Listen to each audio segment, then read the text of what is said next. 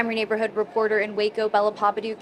Need to go vote but don't have a ride? Waco Transit is offering free rides to the polls on election day to make sure everyone can cast their ballot. Like some people like are motivated to vote because like it's their birthright, but for people that just like think of it as like like just like something like just to get one and done like as a chore i feel as though they won't come if they don't have rides to get here. Baylor freshman ariel canton voted early for the first time on friday and just like me ariel was able to drive herself to the polls. She tells me many college students don't have cars and rely on other types of transportation. I think it's really nice because like not a lot of college students brought their car because they don't have one but they don't have their license or they usually like share a car with like their sibling or something like that. So I think it's really nice that they're like offering buses for people. On election day, the Waco Transit System will be offering free rides on all fixed routes when you show your voter registration card or I voted sticker. I think we're a very vital part of the community. Director of the Waco Transit System, Charles Parham Jr., tells me the city has provided this service for several years now. We want everyone to take the opportunity, if they can, to go out and vote.